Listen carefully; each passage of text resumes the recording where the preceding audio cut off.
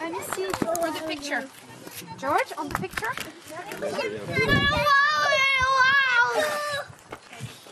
Pour la photo